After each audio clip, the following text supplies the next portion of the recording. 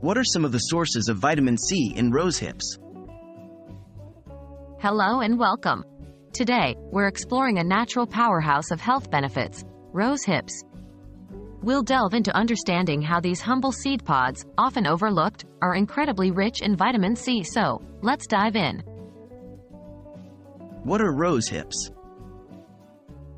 Rose hips are the fruit of the rose plant, which appear after the flowers have been pollinated and the petals have fallen off. These small, reddish-orange to dark purple fruits are not only pleasant to look at but are also a rich source of nutrients, particularly vitamin C.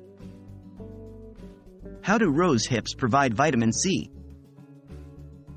The rose hip, surprisingly, contains one of the highest concentrations of vitamin C among fruits and vegetables, beating out citrus fruits and even peppers. Just one to two of these small fruits could provide you with your daily vitamin C needs. The vitamin C in rose hips is found within the fruit itself. It's not merely on the surface or concentrated in one specific part. Are there other nutrients in rose hips?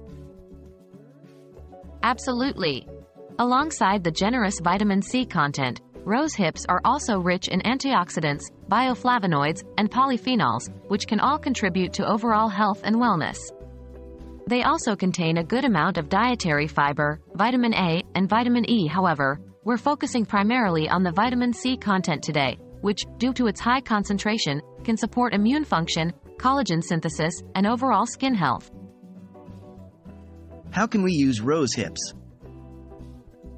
Rose hips can be used in various ways.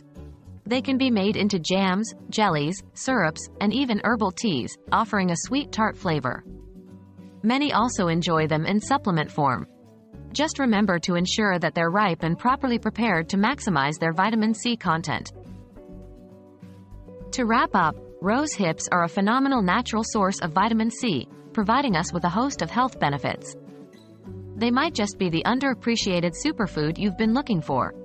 We hope this video has given you a new appreciation for these wonderful fruits and the role they can play in supporting your health.